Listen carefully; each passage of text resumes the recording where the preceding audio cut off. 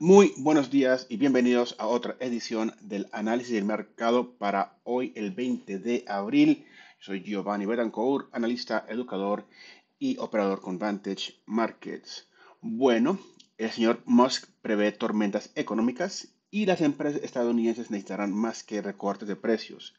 El clima tormentoso económico podría continuar durante las, aproximadamente un año, dijo Elon Musk en la llamada de ganancias del primer trimestre de Tesla. El multimillonario dijo que no tenía una bola de cristal y enfatizó que esa era su, suposición, pero resalta cómo está pensando en los próximos 12 meses.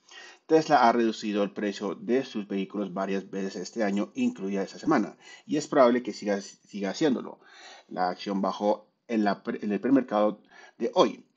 Tiene implicaciones para el sector más amplio de vehículos eléctricos, aumentando la presión sobre otros fabricantes de automóviles para que reduzcan los precios. La empresa francesa Renault, por su parte, se mantuvo firme y no indicó planes para reducir drásticamente el costo de sus vehículos eléctricos.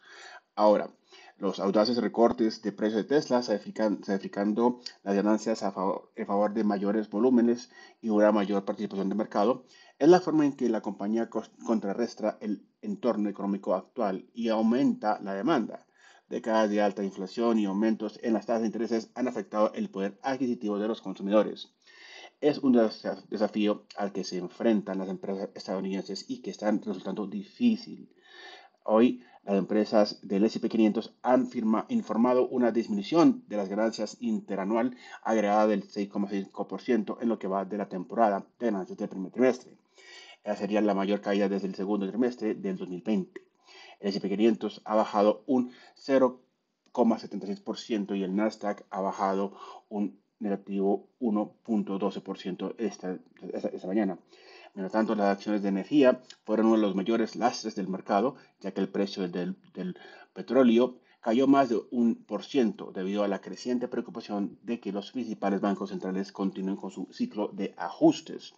Por otra parte, la encuesta económica del, libro Beige de la Reserva Federal, publicada ayer, respalda la metáfora, de, la metáfora meteorológica de Musk para la economía mostró que los, préstamos y la demanda de préstamos han disminuido desde la reciente digitación bancaria, mientras que los estándares de préstamo también se han introducido.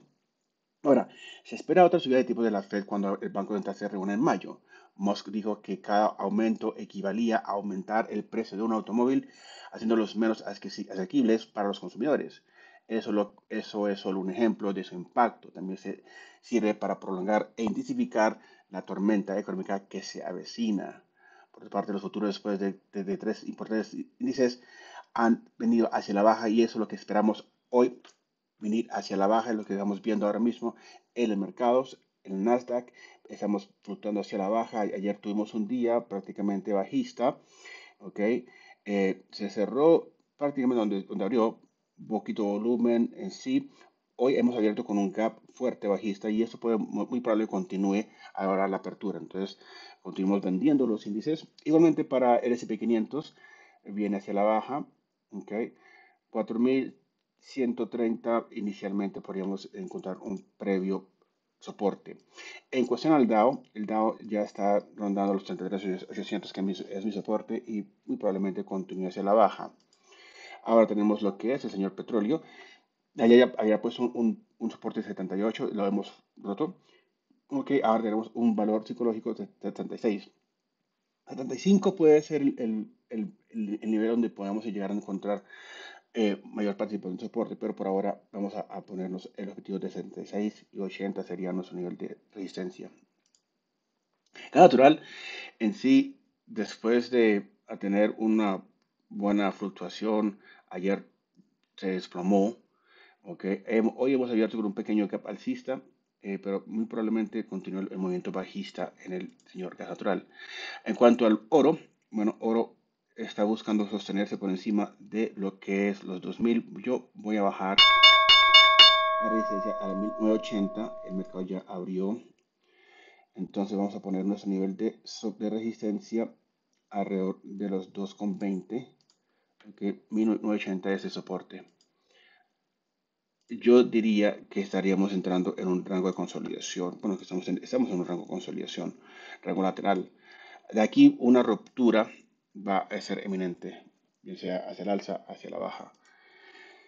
En cuestión de la, plata, igualmente tenemos una fluctuación casi que parecida a la, del oro, pero en sí plata se sostiene por encima norte de los 25 dólares, la línea móvil de 11 periodos está por debajo, en un ángulo de 45 grados, el RSI está por debajo de ser sobrecomprado, entonces podríamos intentar un 25.50, pero vamos a ver qué pasaría hoy. El cobre, cobre viene eh, haciendo bajos más bajos, ok, eh, altos más bajos, y eso significa que estamos entrando en una tendencia bajista. 4 horas sería el soporte para cobre. Acá tenemos el Bitcoin que ha abierto con un gap bajista muy por debajo de lo que estamos esperando que se estudiara. Y bueno, 28.000 es el soporte para el señor Bitcoin.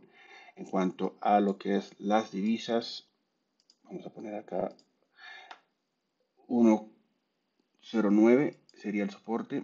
Cloneamos esa línea, cambiamos de color, rojo. Vamos a poner entonces 1,10 la resistencia para el señor euro.